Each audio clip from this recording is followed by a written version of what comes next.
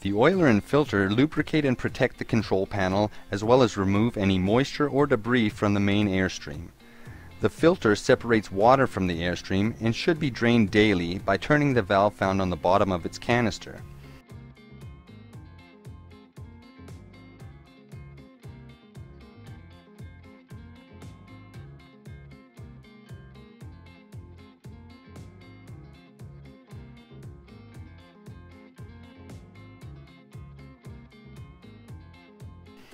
The oiler is controlled by a valve on the top of its housing.